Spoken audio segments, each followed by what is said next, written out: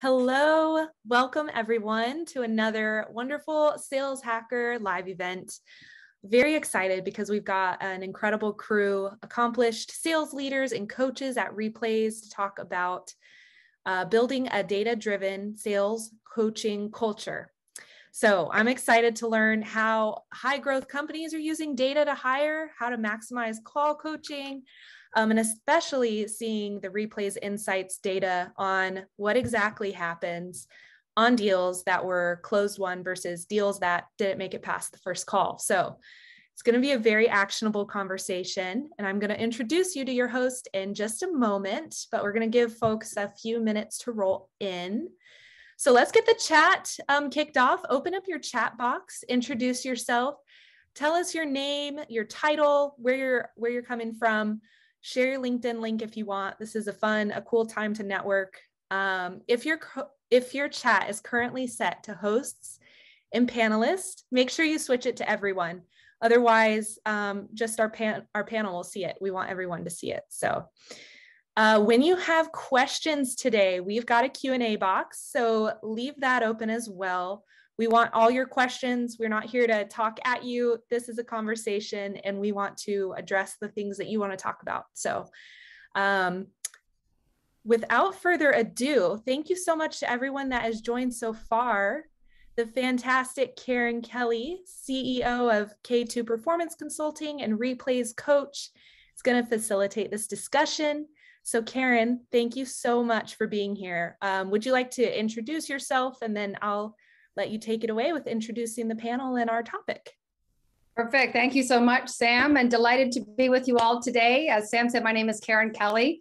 Uh, I run uh, K2 Performance Consulting, sales training, consulting, and coaching, and I'm also a Replayz coach. So delighted to be moderating this this uh, uh masterclass today, as well as offering commentary where possible. And again, when you think about the timing of this, you know, data and science could never play a more important role than it really does today to allow us to get to that first stage of awareness. And beyond that, you know, we uh, we have something to move towards. So before we get uh, going, as Samantha said, I'd invite you to in the chat box, let us know uh, where you're calling in from. And um, because this is geared for both sales, leaders and um, sales enablement and sales reps, let us know what your role is so we can gear the conversation to, and really make it a tailored experience. Uh, so again, delighted to be moderating this and uh, love to welcome the two panelists here. So begin with Dave Kennett, uh, CEO of, of Replayz, and Keith Abramson, VP of Sales of ElectroNeek. So Dave, why don't you start by giving us a quick introduction and let us know a little bit about who Replayz is? Yeah, sure. Thanks, Karen. Hi, everyone. Really excited that you're here today, and we want to make the most of your time. So I won't spend too much time on an intro.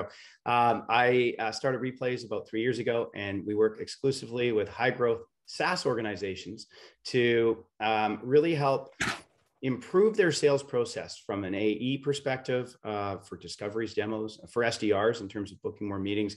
And what we've done is we've listened to literally uh, with our coaching team of 24 coaches We've listened to thousands of calls now, some of the highest growth SaaS companies, and we want to share some of those insights with you today. Uh, we literally have a, a, data insights and scoring team. We jump into Gong and Chorus and and find meaningful insights about what are the what are the deals. You know, when a deal moves forward, of the last 200 calls that we analyze, why did it move forward? We think versus the the ones that didn't. What are the commonalities? So that's what we're going to share with you today. Thanks, Dave and Keith. Hello, everyone. Thanks for joining.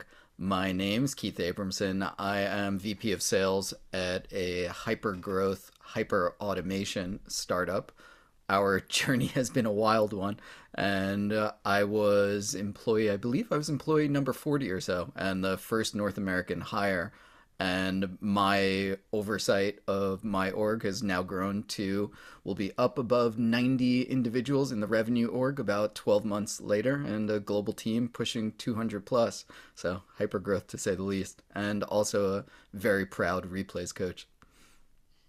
Awesome. Thank you so much keith and dave. Uh, just looking in the chat where we're getting people in from we, it looks like uh, canada is representing which is uh, awesome and um, Atlanta, we have a mix. There's some VPs here, there's some individual contributors, which is great because just what Dave said, you know, if you're wondering both from a sales leader and a sales rep standpoint, you know, why are my deals stalling at certain point?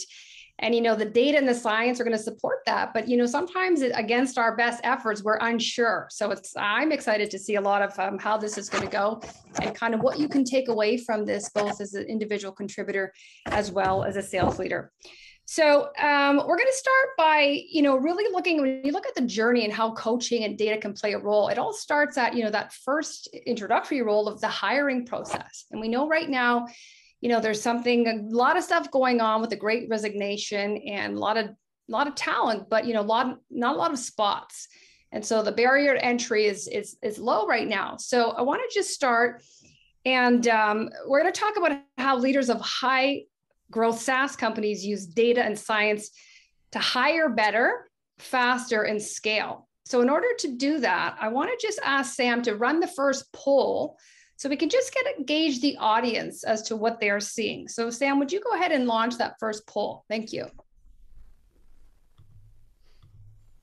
So, when you see the poll, go ahead and, and answer it.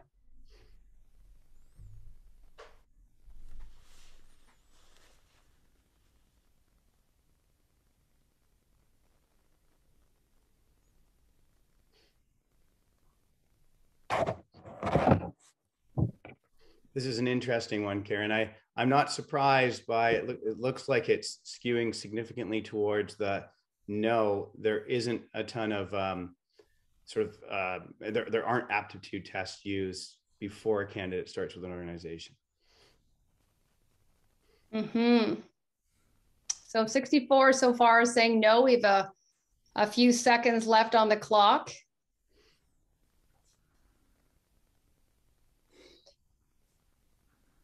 You know, when you think about that hiring phase, you know, it's always a risk, right? It's a 50 50. So the fact that uh, we're not using anything, and 65% of you are saying that we're not, you know, really uh, asks us the question what can we be doing to, to you know, to get that insights and, and looking at their ability to learn? What's their chance of success?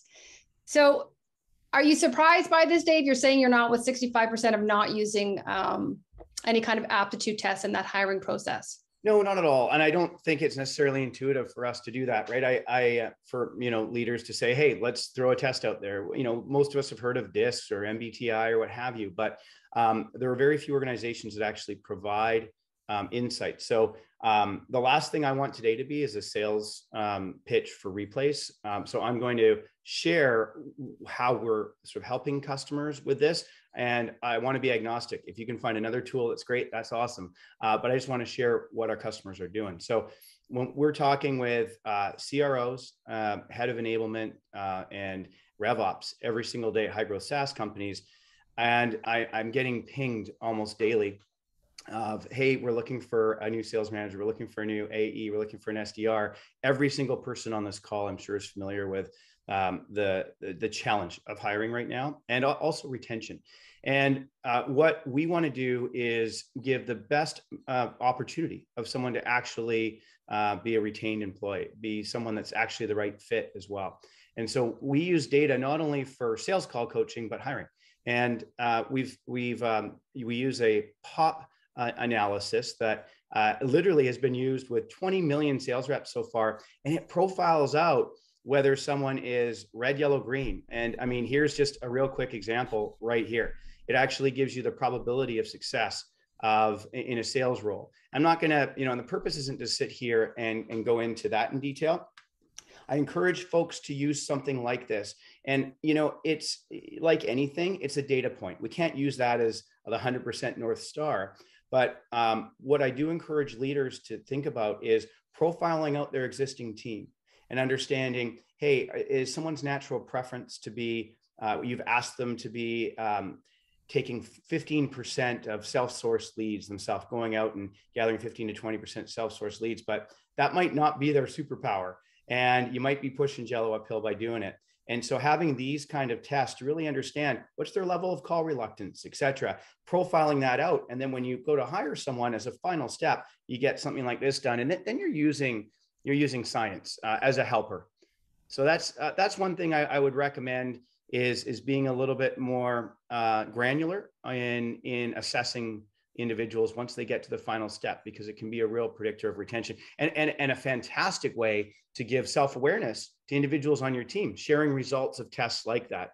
And um, you know there's there are a handful of companies that do this out there. So again i'm not sitting here uh, saying hey go, go use Replayz but i am encouraging folks to especially in this market to really think about being a little bit more uh, buttoned down on the on the data side I think that's great. And I love the, even the profiling of the existing team because if you want to, you know, set them up for success, a lot of times you want to ensure that the skill set is, is aligned with the role. But also, it kind of gives you that baseline so that when you're hiring new, you're aligning culture. You're seeing kind of what we already have and where there's an opportunity for a different skill set to kind of, you know, round out that sales team. Keith, what are you seeing in terms of what companies are doing uniquely or creatively to either attract or retain their sales team? So post COVID, of course, the the massive wave was that everyone went remote. And there's a lot of dialogue of late. And uh, of course, you have some of the individuals that are being deliberately provocative. But I think many of the individuals speaking and writing on this are homing in on a truism, which is that our entire modality has changed.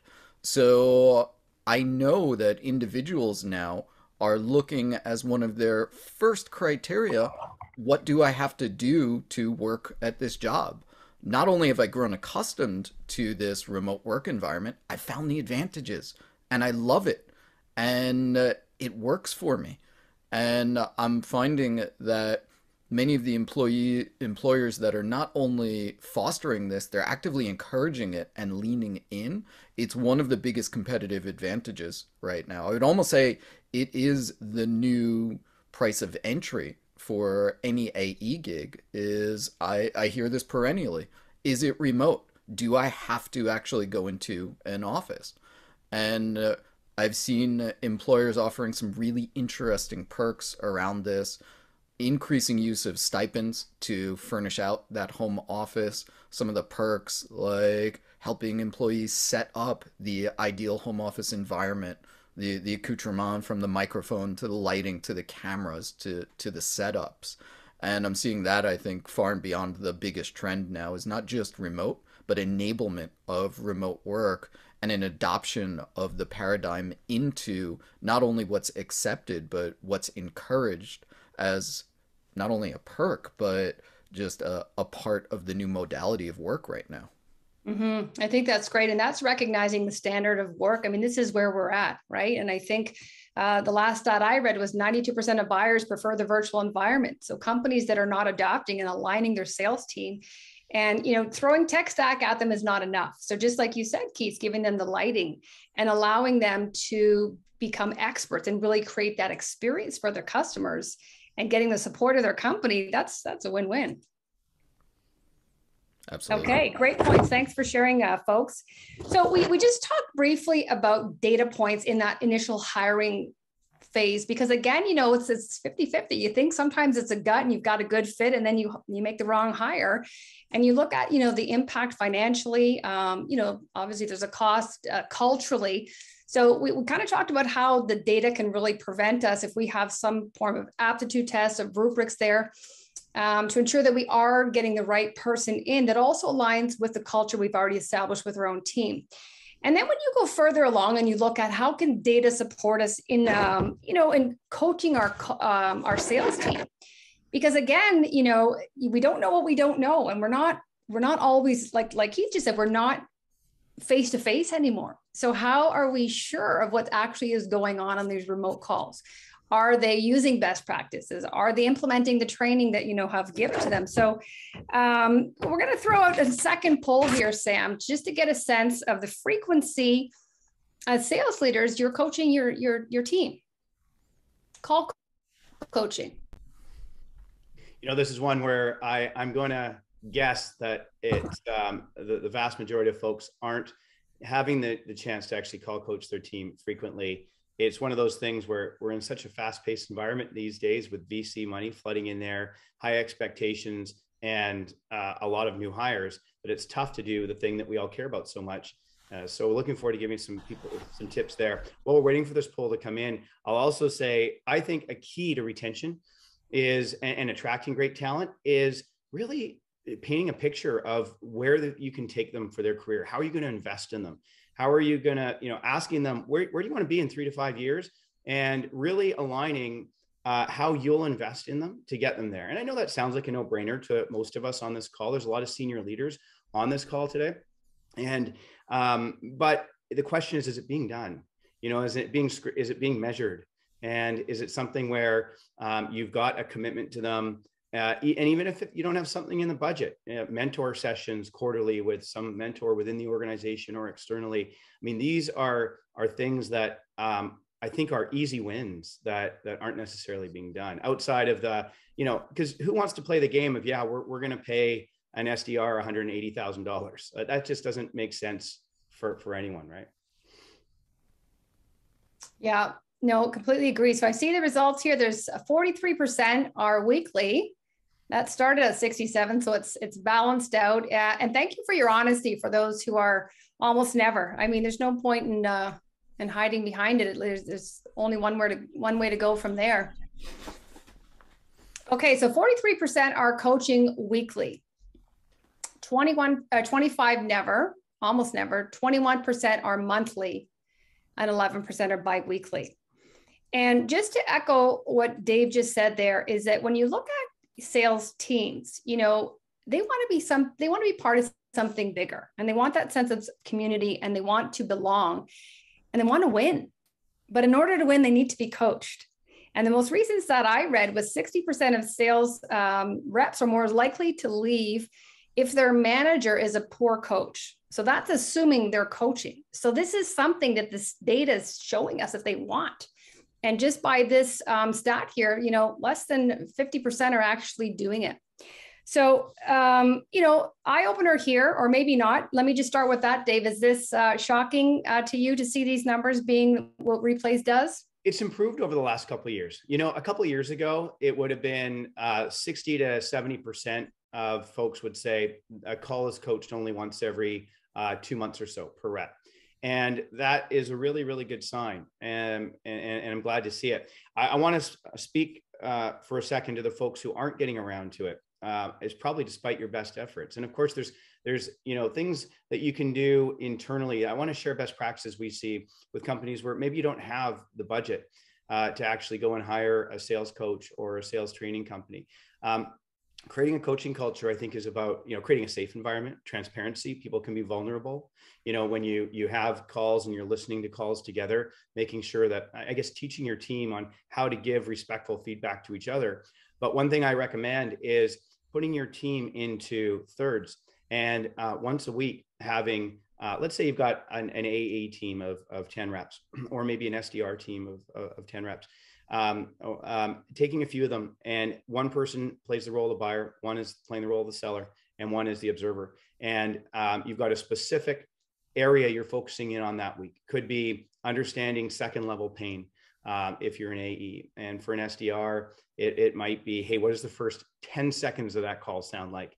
Um, and then coaching each other on it. This is something that is going to allow you to get some repeats um, and, and really uh, won't cost you anything uh, but part of it is making making sure that you're floating around in these sessions as well as a leader and, and providing value. Uh, another good one is let's say you're sales rep on this call and you're like, hey, I, I want to prove that I want to get to that next stage, that next level. I want to be team lead in uh, you know sometime within this calendar year. Take initiative, right? That really matters. Put your hand up and say, next time there's a new hire, I want to be an onboarding buddy. Or take initiative and actually listen to one of, you know, one of your calls per week and then send your assessment through to your leader, right? Have a listen to one of your recorded calls in Gong Chorus and then say, hey, my next one on one, I, I want to uh, walk through what my debrief was on this.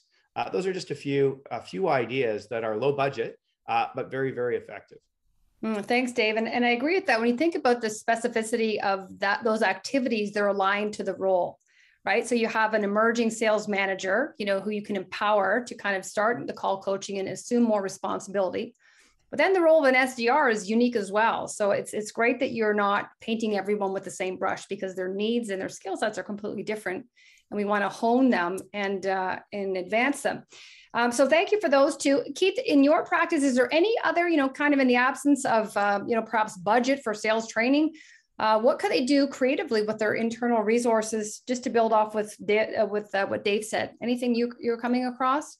Absolutely. So, one that costs nothing except time and it's time well spent is to create the best practice video library and find a way to comb through that library of calls. Presumably, I would venture to guess, and I don't think it's a, a poll that's coming up until later, but I would presume a lot of the audience is using conversation intelligence. And one of the most valuable ways to leverage that massive data set is simply to harvest out known good and leverage that as part of onboarding training and build your Confluence reference library of best cases so that when you're giving tactical feedback to a rep as part of their development and upskilling plan, you can point them to some references and enable them to do some self study and some self improvement as you're coaching them through it. Because oftentimes, and I, have seen it happen so many times, a manager will guide a rep to do better at something and not actually offer the tactical guidance. And the rep is often embarrassed to even ask for the actual guidance. I've seen it happen whereby if you're an AE, you'll say, Yeah, I know that was terrible. Well, do you actually know it was terrible? And can you mm-hmm. actually improve it? But you're not going to ask on the spot for fear of looking not optimal. So mm-hmm. I, have seen it many, many times. Having that well built, robust library of optimal examples of objections of every single component of a first meeting or a demo call that's deemed critical to success built and referenceable. Mm-hmm. I think that was a really, really great point, Keith, and I'm glad you brought it up because when you think about, you know, the the newcomers versus those who can always um, improve, we need to know what excellent looks like. And so in the absence of that, we're assuming, and we're maybe like you said, we're thinking it's it's not that bad, but what are we comparing it against? And then, you know, when your manager might be pulling it across the line for you, how are we how are we improving?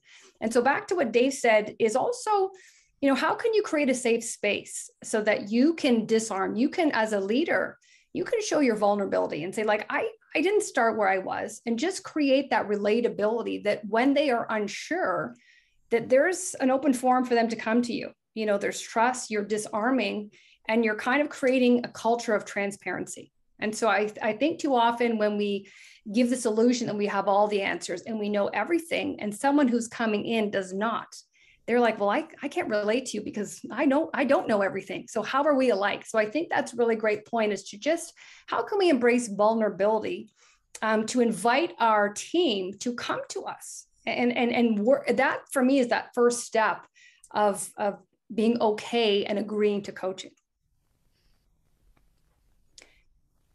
Someone here, Chad just says, as someone in enablement, I would challenge people to make sure they are differentiating coaching and saving the day when listening in on calls. And yes, Chad, what a great point. Just saving the day or bringing it across the line, because you know what, that that serves one thing, and, and that's usually the ego of the sales leader, unfortunately. And you look at is it is it creating a, a behavioral change? Is there awareness in what they did differently? And it's not. And so if we're trying to upskill our, our team, improve their and heighten their self-awareness. So next time they're in a situation like that, they know what to do. They're not because we've spoon fed them. So great point. Thank you for um, bringing that up, Chad. Sometimes you got to let them fly it into the mountain. yeah. I mean, embrace failure too, right? Because failure is the ability to try. Yeah. One thing I want to mention on, on the uh, recordings so just piggybacking on what Keith said, I, I, see, so almost every single one of our customers uses a conversational intelligence recording tool, uh, whether it's Gong, Chorus, um, or, um, you know, Outreach, et cetera.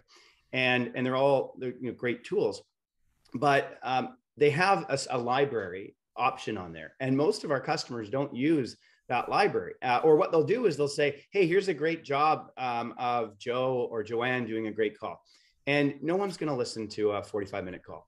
Uh, so what, what we're doing now to really help um, evolve that is and, and help new reps ramp faster is our scoring team goes in and we look at four out of four examples of a sales skill. Here's a four out of four example of top rep doing a great customer story or a good example of someone getting a next meeting on the books. And now they're 30 second to one and a half snippets of highlight reels by sales stage. And so I really encourage um, the folks on the call here to um, to do that, to um, ask their team if, if if their sales rep thinks that they absolutely crushed it in um, a specific sales school uh, or sales skill might just be doing a really good agenda. It might be un- uncovering second level pain, just taking snippets, because that is something that people will actually take time uh, take time to listen to. Yeah, great points there, Dave. Um, anything you'd like to add there, Keith? I would agree and endorse everything that Dave is saying on that one. Ditto. Ditto. It really it really does depend though on people having a framework that they're coaching to, right? So my question to everyone on this um, on this call right now is, you know, what does success look like? Do you have a framework for your discovery calls for your team? Um, if you're a you know a, a, CRO or head of enablement, you know, have you got a framework for what that demo should look like and sound like? If you're a sales leader, um, a sales manager, and and you you don't have that today um, is it something that you're actively working on and bringing to your leader? If you're a sales rep and you don't have that, are you being part of the solution? Um, again, put your hand up. Be be the first one that your leader thinks of as a team lead, um, and and say, hey, I see we don't have a discovery call framework. Here are the top ten questions I ask that seem to resonate with this persona and this persona, and start putting those documents together. It's it's um, it's one of those things where it all starts with a framework, which I think leads into our next poll, Karen. It, it does. And before that, I'm just going to throw it out in the chat box because, like you said, Dave, you know, we have to take an initiative. And even if there are individual contributors trying to move into that management role, that's a great initiative there as to how can I create a framework. So in the chat box, let me know if you are using a framework, uh, or let us know if you're using a framework. And if you are, is it for discovery? Is it for coaching? Is it demo? So we can just get a sense of what's going on. And are you actually scoring calls? That's what this question is is uh, I'm super interested to learn here because you look at um, a lot of organizations I talk to, like, oh, yeah, we've been meaning to build a scorecard for a while, uh, but we just don't have time, or we can't sync on what a good scorecard looks like, or uh, I just feel like a scorecard's useless because five people are going to fill it out five different ways. And so I think it's interesting to spend a minute on this. I think it's un, uncharted waters for a lot of organizations, yet I think it's necessary like if we're going to define success how do we define it and then how do we actually measure to that so you can jump into a ci tool and listen to calls but you don't know if it was a great call or not until you've actually listened to it or you've looked at a scorecard so you know i'm really curious this is back to the data side of things i'm curious how people are doing this today okay well so far 68% of them are not using a scorecard for the recorded calls Okay. And again, 43% are are not coaching weekly either. So well, and as we're waiting for uh, for the results to fully come in, I, I, would I'll share this. We actually have a scoring team, uh, and, and I encourage you to do the same internally. Um, but we will score calls for companies, and our data science team will give insights. I mean, anyone can score calls. It's what you do with that data. And I tell you, we find the most interesting things. So, like after we've scored the calls, we put them into a document like this and we're like wow across the last 100 calls um, in justin's team versus christine's team look at the difference in how they handled um, asking the budget question or what have you and so to the leaders that are on the call today i would ask you know let's say for the the cros um, do you have a real good sense as to what sales team a is doing as a strength versus sales team b versus sales team c and and um, and how they can learn from each other. You know, so we had a customer recently who their EMEA team was really good at these three things, their North America team was good at these three things, but they actually didn't know that until we rolled up the data from scoring these calls. How could you possibly know it? I've been a tech leader for years. I, I couldn't get that data. Gong's not going to tell you. Um, and, and again, Gong's great, uh, but that's not its purpose, right? So um, this this whole idea of, of using a rubric or a scorecard um, I think is something that is an opportunity for us as a collective sales community to to get better at. I think that's great. And 74%, Dave, are not using a scorecard uh, for recorded sales calls. So um, opportunity there. And just to echo what some people in the chat are saying, is Charles says scorecard makes coaching way more objective too. Yes, you know, it holds us accountable, but it's the data doesn't lie. It's black or white. So I think that's a great point. Um, I'm also curious if orgs are using formal training that defines the framework. What are your thoughts there, uh, Dave or Keith? Again, we kind of ask people if they are using a, a framework. Um, so I think that's actually one of the hesitations here is that there's some trepidation about being wrong on setting up the scoring parameters. And I would actively encourage all of those 74% and taking that as representative of the sales community at large, that 74% of sales leaders, something is far, far better than nothing here. And again, I, I know that a lot of us feel that our subjective value is our ability to determine good versus bad. That being represented in an individual and unable to be trained down to your second line leaders is virtually valueless. In uh, that, this needs to be something that can be built and scaled upon and referenced in order for you to grow. And I would guess that most of us on this call are in high growth companies where we have increasing expectations every single day. And the only way to live up to those expectations of your investors that have just given you $50 million is to improve your process and increase at the same time your level of visibility so you can make better strategic decisions. So the TLDR there is just build something and it mm-hmm. doesn't matter that it's not 100% perfect, start measuring. And that hardest first step is to I'm going to do a, a, neologism here and just say just datafy the the subjectivity. Put a scorecard in place that represents that rubric that you use if you're to to evaluate a call. What are you looking at subjectively? Subjectively, assign a grade, assign scoring criteria. Even if there are only five questions on that, start somewhere and then start honing it. And uh, that data will be both extremely surprising and extremely insightful when you start to correlate it, even yourself or with your frontline sales leaders, against your wins. And even those two pieces of data that don't require a dedicated data scientist or a RevOps team are going to enable you to start building the foundation of what success is and therefore teaching and replicating it. Mm-hmm. I, did you want to add something there, Dave? You know, what I was going to say, Karen, is I, I think um, one of the things that I, I, know we wanted to leave the audience with today is some real tactical tips on of the thousands of calls that we reviewed and scored what makes the difference in a good discovery uh, a good uh, demo a, a, good close? And um, i'm thinking i know we had a couple other polls planned. Why don't we skip those? We'll make it about the audience. Why don't we go to that last poll where we ask for the group that's on here, let's spend the next 20 minutes workshopping whatever you want to workshop. Like, at, and so I think we have a poll that we'd like to jump onto here pretty quick, which is like, you know, specifically if the way we spend the rest of our call today, um, would you like it to be on discovery, demo, or closing? And we'll we'll wait our our time accordingly. And you know, while we're waiting on that, why don't we see what questions people have about about this in the in the chat as well? This one's fun, Dave. It's it's almost like Replayz live. It is almost like Replayz live. I missed that. We got to do that again. This is great. Well, again, this is for you, right? So we're going to go where you want us to go. Um, just to build off Keith's point is a correlation.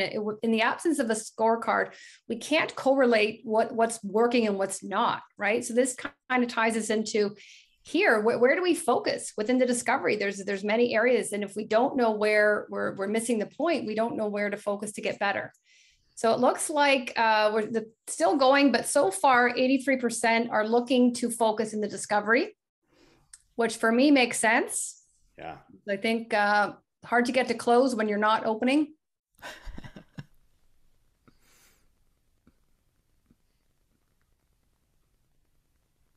Well, let's let's do it. Why don't we dive into discovery? I'm happy to start off and share a couple tips. Okay, so why don't we start by yeah sharing it within the discovery? Do you want to share, uh, Dave, what those who are perhaps getting past that first meeting and advancing what what they're doing well? Yeah, and and so um, the, the, the top things we see in general um, before we go to discovery, then like the top five or six key things that we find differentiate deals that move forward, the deals that don't, are asking for a next meeting on the books at the end of a call. Um, and a lot of reps aren't doing an effective job of that consistently. That, that assumes, of course, that there's general interest and, and someone wants to move forward, but just specifically asking at the end of the call, hey, um, you know, we really find it helpful for our prospects if we have a placeholder call uh, set for a couple days from now so we can answer any questions. And you'll find that, I don't know, 80% plus the time they'll say yes. Uh, that was a key predictor time and again from top reps to the rest of the crowd. Another was at the end of the demo, specifically asking, I'd love to get your thoughts on this. You know, you'd think it would be a no brainer question, but um, it's not. And, and then, um, and then of course, really tying into discovery, understanding the second level pain, understanding what is current state, what's future state, you know, painting that picture of the delta in between, and then not wasting their time with the prospect's time with, you know, um, the the standard PowerPoint that you do for everyone. Really customizing your demo time with them to the the key areas that they've said are keeping them up at night. Um, those were a, few of the the real key differences between. And, and you know what? One other one, which was interesting, is we um, reps seem to seem tend to get robotic after a while. And when they're doing, especially in a higher transactional kind of scenario where they're doing the demo multiple times per week, and uh, but that actually was a predictor of whether the uh, deal moved forward or not. It was when a rep actually takes the time to make it um, super like it's the first time they're doing it and being just super interested in the and, and, and intently listening to the person that they're um, engaged with and not rushing through their content and not feature just going feature benefit feature benefit but really understanding what makes you know what the prospect cares about what their pain point is how can we actually help them? And then and then finally using customer stories. I think we all know that but we found that the magic number of customer stories in a 45 minute uh, call isn't one it's not two it's three customer stories. And that includes with with solid ROI evidence in there as well. So those, um, you know, those are some pearls right there. If if you're on this call and you're a sales rep, um, or uh, if you just implement those six things and do them very very well i don't know if it was six but somewhere around there um, uh, then i think you would have got your money's worth for your, your time on this call and, um, and if you're a sales leader i really recommend that as you're looking at your framework ask yourself is this in my framework? Do my sales reps know to use customer stories, um, you know, a few times in a call and, and to make them ROI driven? Do they ask for that next meeting on the books? Um, and for sales managers, really, you know, challenge yourself to uh, in your next meeting with your team, uh, role play this and and watch your team do it and have them share best practices on. I'm sure. Hey, we've got a very sophisticated audience here, um, and and so uh, I'm sure a lot of this stuff's already being done. But the reason we called it a master class is we get you know to share with you what we've seen after thousands of calls, and those are you know we'll dive into discovery in a sec, and, and but those are some of the things. Uh, and Keith, sorry, I, I, don't mean to be taking up all the time here. What would you add to that? no problem. I will hop in and say my four or five will be critical too. So yeah, let's see, Karen, how hard is this to think through this without saying the words Replayz best practices? So, it's almost impossible. So, so, all right, I'll I'll give my four or five, and I'll probably need the cane to drag me off stage on this one, but but let's go. So number one is focus on the fundamentals, and I see way too many experienced reps start to go off piste and forget the very fundamentals that are foundational to a good discovery call. Checking time, setting a good agenda, showing you did your research, actually checking for buy in with this agenda, doing introductions, introducing yourself, finding out who's on the call if you haven't met this person before, calling them out, involve everyone on the call. Nothing I just said is insightful to anyone on this call, and yet you'll see many of these founda- foundational fundamental pieces start to drop, especially in the experienced reps, because they start to get confirmation bias on some of their calls that went well, and they drop the fundamental pieces. So ensuring that you're focusing on the basics, number one, even with your most tenured reps, is really, really important. Number two, lead with value. In our post COVID sales era, your buyer is not looking for the living embodiment of a product brochure. If they wanted that, they could go to the website and go to the products page. They don't need it. what your BDR did or what your inbound marketing team did is they built the banner ad either quite literally or figuratively. You are that piece of content.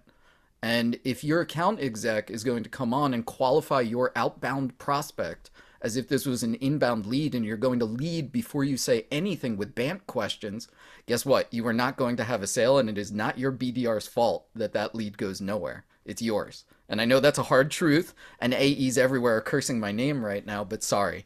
it, it is your imperative to actually incent and provide the reason as to why this individual should be interested and should be spending time with you. Lead with the value, actually provide some information for free. Teach this person something and they will pay attention to you. Moving on, actually pay attention to your polish and presence. And in the sales zeitgeist right now, there are a, a few of these unconscious utterances. I always say the likes, kindas, you know, ums and for whatever reason, they're becoming so much more prevalent. Perhaps because we're all living on Zoom right now and we've settled in, and Zoom has become a normal modality of conversation. So we're very comfortable and possibly too comfortable on these web conferences, and we've become overly conversational. Your buyer is looking at you as an expert, and the more you show that you're just winging it and you don't have a prepared narrative and you're walking perfectly this fine line between providing value and synthesizing information. If you're just coming up with it on the spot and thinking through it and making stuff up that appears not that valuable, well, your prospect isn't going to find it that valuable either. Next one. I feel like we're doing the, the hot list here. Next. So, next one is actually have an opinion. And I find this to be one of the most challenging ones for AEs is there is fear of perhaps being too confrontational and actually making a suggestion. And I'm not necessarily advocating, although it's great for full challenger sale and telling your buyer they they're not intelligent. You don't have to do that. You don't have to insult them. You don't have to be deliberately contentious for the sake of starting a fight. That's not the purpose. But remember, if your buyer knew the way, they would have already clicked buy it now. They don't know the way. They're there speaking with you to look for an informed opinion to help them shape their own informed opinion. They want an opinionated salesperson to take a stand. And that stand is not yesing and agreeing with everything they're saying, it's providing them new information and context that they don't necessarily have yet. Be opinionated. Don't apologize. Don't tentatively provide a suggestion and at the same time give an escape valve to your prospective buyer and say, well, if that's okay with you, I'd like to. No, ask your question, provide the value, provide the contrarian opinion that is synthesized based upon your customer stories. That's what they're there for. I think that's in my good mic drop. That was great mic drop. That was the passion was just coming out of you there. Good job, Keith. Once you wind me up, it's hard for me to settle back down.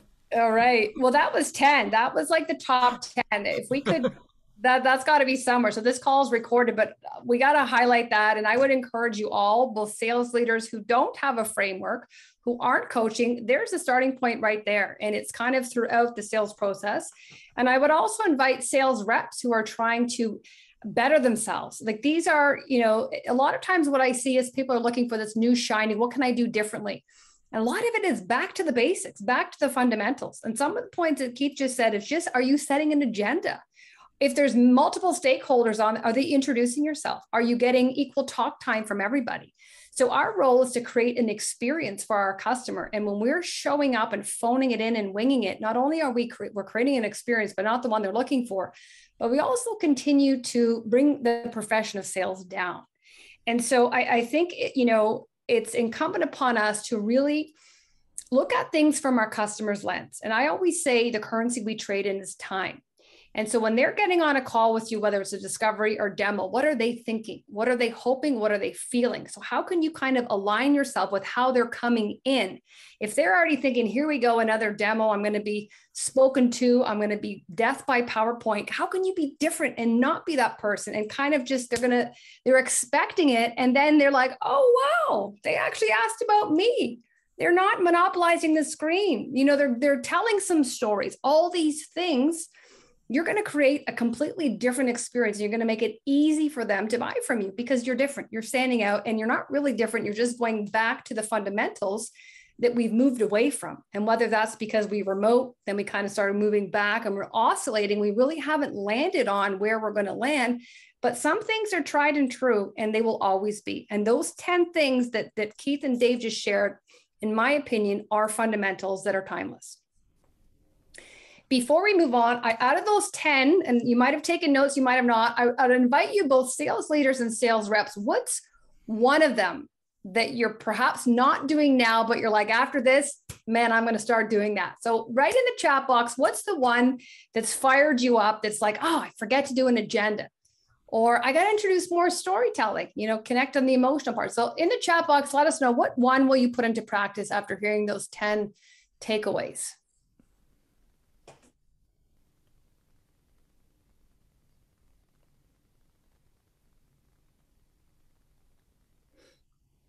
And while we're waiting for that, um, have an opinion, be confrontational.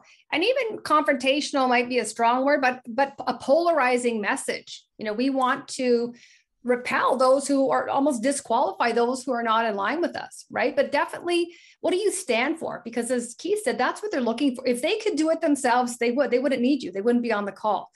So they're looking to you for your expertise, but also based on what you shared with them. So what, this is what I heard. This is how I've helped others like you. So you kind of bring them on the journey, and this is that future state.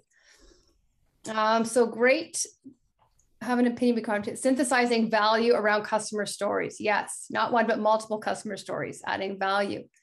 Use customer personal stories. Yes. Um, what was the question here? Any tips, framework for telling really good stories? Now, I know Dave Kennett has a great framework here. So, Dave, would you like to um, share that with Charles and the group? Yep, you bet. And then I'm dying to share the top discovery things because we promised the team we'd do that. Yes. I've got I've got a slide I want to show everyone from the top. Well, we'll but, give you a minute for this then. okay. Uh, Charles, thanks for asking that. Um, if you can hit me up on LinkedIn later, I'll drop my LinkedIn profile here in a bit, and I'll I'll give you an actual framework. Um, we call it the what, so what, in the customer story, all in under a minute. So the idea is this: there's three things that sales reps typically blunder on customer stories. Uh, number one, they don't say them. uh, number two, they say them, but they just spent they, they just mention a brand. Oh, we work with IBM. That's not a customer story. We call it an oblique customer reference. The third is they'll share customer story, but they'll actually like make it five minutes long, and you waste four valuable minutes that you didn't have to use. So make it under a minute um, and when I say what, so what in customer story, when you hear that, so I'll put it in the context of Replayz call coaching. When I hear someone say, I just don't have time to call coach, uh, the what is uh, we can help you free up time in your calendar um, and, and help your, your team improve their win rate. Uh, the so what is um, this will help grow sales significantly within the next three months. The customer story is, hey, that reminds me of Vidyard. We've been working with them for two and a half years. When they first came to us, someone in your role actually had the exact same challenge. Fast forward today, they've had uh, dramatic growth year over year. We coach their team every handful of weeks, and um, and um, et cetera, et cetera. So there's there's just a, a real quick me on fast forward, uh, giving you um, an example of how I tell a customer story. So the what, you know what is the what is the pain? The so what? What's the differentiator that helps the pain? And the quick customer story the customer story should include the logo that you know because that gives credibility. If you're just like oh one customer one day people will be like yeah yeah you're a salesperson you're making it up. Like give them a brand. And it was you know specifically dan wardle at uh, vidyard who i first spot, spoke with. They can actually google and say oh okay dan's a person at vidyard. Dave must be telling the truth. And when they first came to us two years ago they had this problem. Okay this person identifies with my problem. I now identify with Replayz because of it. And we help them with their win rate and it improved by blah. Oh, wow, there's actually a quantifiable solution there. Those are the things that we see customer stories using. We call it a customer story framework. Um, and we've we've got it in our Replayz masterclass uh, actually, which I'm going to be giving everyone half off on at the end of this. So I'll, I'll uh, like I don't know what it is after discount, but like a hundred and I don't know, 50 bucks or something. So um, we'll plug that later on. Anyway, okay. hopefully that was helpful. That was good. A little over a minute, but I'll forgive you. So the what, the so what, the customer story. Yeah. So I know we're going to do a quick audience activity, but before that, Dave, is there a slide you wanted to share that ties in with uh, with what we're chatting about now? Yeah, and I hate slides. I don't. I don't recommend using them in presentations. But for this, I wanted to synthesize um, what we've saw across all of the calls we've been scoring are the top things in discovery that reps aren't doing well and can do better. One is asking a consequence question. You know, what if you don't do anything and the situation gets worse over the next three to six months? What a fantastic question. What a fantastic question. It really helps people understand, like, okay, if I don't move forward, what's going to happen? Um, you know, what's the things that stop you from doing something like this at this point? Um, did you actually quantify the problem? You know, did you really take a minute to understand if, again, using our call coaching analogy, you don't have time to call coach. Um, you know, we know that when someone gets call coach, they improve their win rate by three to 8% in the first three months. Do you think that's the cost to you? Have you quantified that before? And actually coming up with, you know, the cost or opportunity cost of, of that problem. Uh, so that those are some of the the quick discovery things. Obviously, making sure you're getting to um, that that real true pain most people start start at sur- surface level and a lot of people aren't adjusting their style to and, and they're questioning to the persona. They're treating uh, if they're selling something into sales they're treating it like they're uh, uh selling to an individual contributor the same as selling to a cro of a, a fortune 500 company. And, and, it's like what does that cro care about? What is it i know a lot of this is repeat for a lot of folks on this call um, but for some of you it, that may be something to to think about. So really not having, if you've got 10 questions you normally ask in discovery, well, what are the three that you make sure you ask when a CRO is on versus a CFO versus mm-hmm. a, a CMO, really customizing it. I think those are great points. And that's just above the line and below the line. And the risk of, um, you know, even if you rank the questions, some of them are higher higher bite if you don't if you don't ask them like that risk of doing nothing sometimes it's nothing and other times it's you know what it's significant so you need to ask that that question mm-hmm. um, now what we're going to do quickly is because you know you've all said discovery is a main point that you wanted to understand a little bit of how we can get better both from a sales rep as well as leaders how can i better coach my team? So what we're going to do is we're going to invite somebody if somebody wants to raise their hand Samantha will bring them up into the panel and they can share uh, within one or two minutes uh, a discovery that perhaps went not in their favor and get some coaching as to what they could have done differently or just kind of walk them through the thought process of um, of what happened why it happened and again how can they prevent it from happening in the future? So do we have any volunteers? And if you're not if we don't have any brave souls here, please, uh, you can also share in the chat box the situation. And we're happy to give you some expert coaching uh, for yourself. And I'm sure it's going to help others on the call because I'm sure it's if, if it's happened to you, it's probably happened to everyone else at some point. Yeah, hopefully we can get someone who's going to jump in and help us do a little five minute workshop here. Yeah. Finish off the call. Any left turn that any of your calls took. I mean, sure specific to discovery but if it just happens to be at the end of a call or a demo we'll uh we'd love to dive into that as well or something that happened to one of your friends asking for a friend so what are they supposed to if they want to be chosen do they just say like yes just raise your hand okay raise your virtual hand and sam you can let us know if you have anybody while we're, while we're waiting on that, uh, Karen, I just dropped a link to my um, my LinkedIn in there. If you have any other questions that you want to ask me, maybe didn't want to ask in this forum, just ping me. Happy to answer you. Um, and to uh, the question earlier that Charles had regarding our, our customer story framework, that's in our masterclass where we've got 100 best practices and videos and stuff. And that's usually 296 bucks, but it's half price if you if you sign up and you're part of this crew. Just use that discount code there. Uh, but anyway, that's enough. Um, no more advertisements from Replayz today. That's it. But don't we have someone that's going to put up their hand? I'm disappointed. Come on, someone. All right. Well, let's let's. Why don't we then just uh, if we're not going to have anyone, we can still go into some best practices for everyone here. Yeah. So why don't we start in the discovery and uh, the, the, the list of ten that you both shared is kind of a mix of everything. So is there anything in the discovery that you would say is a definite no no? Go ahead, Keith. Do you want to go first? Sure. I will say letting the buyer steer next steps. Mm-hmm. They don't know how to buy. In all likelihood, they haven't purchased before.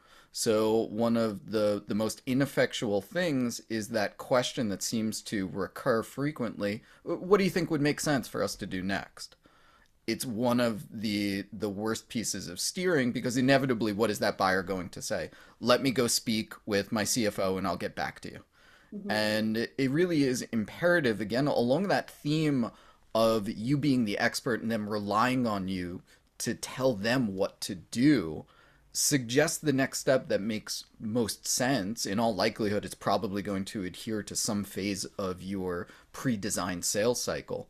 But suggest the next step logically that's going to help them on this decision making path. Don't ask them how to make a decision for something they've in all likelihood never purchased before. It, it just it goes against sense.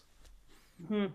Yeah, I think we need to sell the process and do the heavy lifting for them. Otherwise, like you said, why are they here? Um, Dave, what about something we should be doing? So we're leaving them with some positives. Yeah, well, um, it ties to what I was going to say they shouldn't be doing because uh, so it's going to be a negative and a positive. I'm, we're just not actually seeing people do discovery.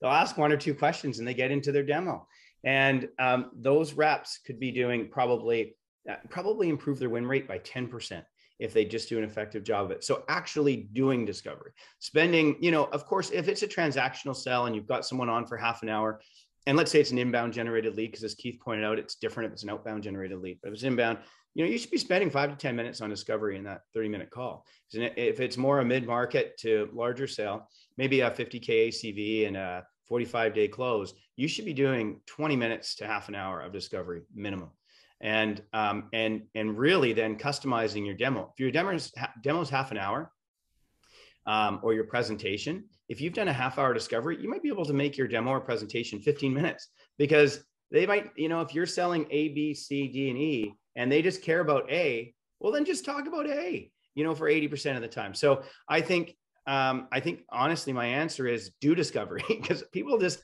honestly are not doing it. Um, they're they they think they are by asking a couple questions during the demo, but they're really not.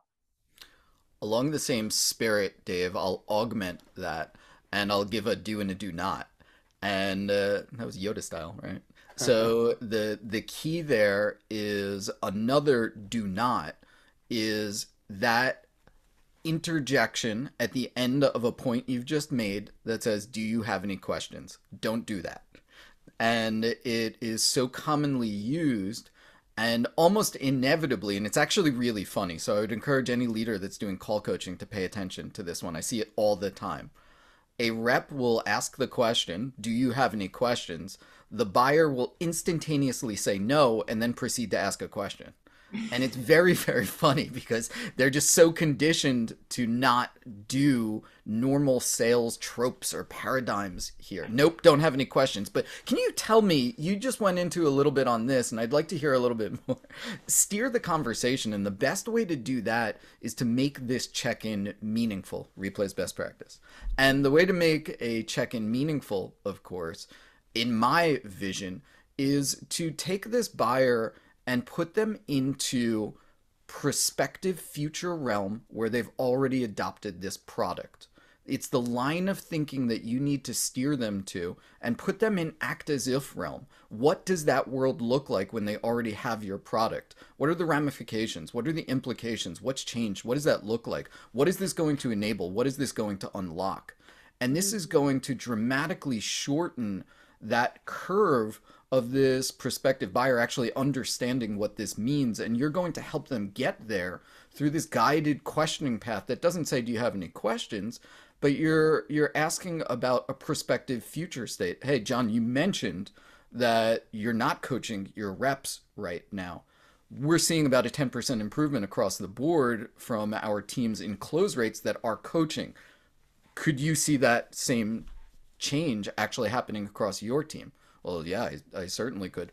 What does that mean if you're able to take that close rate and go up to 35% as opposed to 25%? Yeah, I think those are really, really valid points. Uh, and again, meaningful check ins. So I'm going to add one last one before we close off. Does this make sense? Not a check in. we are programmed to say yes. Okay. So if you're trying to get information, I'm not going to do that. Now we have one minute left. So I want to thank all the sales leaders, um, the sales reps that have joined us today. You have a great understanding. You have minimum 10 10 best practices that you can put in place to create your own framework where you can start really getting data and incorporating it into your sales culture to you know increase performance and grow your team and retain your team at the same time uh, 30 seconds last final words dave Got 30 seconds what do you want to leave with i just really enjoyed this i want to uh, thanks for hosting karen and um, and uh, Keith, thanks for joining. And everyone, uh, really appreciate you taking the time with us today. Love to hear from you on LinkedIn if you have any other questions. That's all I got. And thank you to Sales Hacker for uh, for hosting this. We love Sales Hacker; they're amazing. Keith, thirty seconds. No plugs for me. Uh, I'm here for Replayz. Dave, thanks for having me on. It was great. Loved the forum. Also, if anyone does have any questions from that sales executive perspective, please do find me on on LinkedIn. Same thing. I'll drop my my URL in the chat. Don't hesitate to ping me to elaborate on anything. As you all have seen, I tend to get passionate about these topics. So, very, very happy to put more education and knowledge out in the world. Awesome. Thank you. And again, thank you to Sam and the Sales Hacker team. We had a blast. Thanks so much, everybody.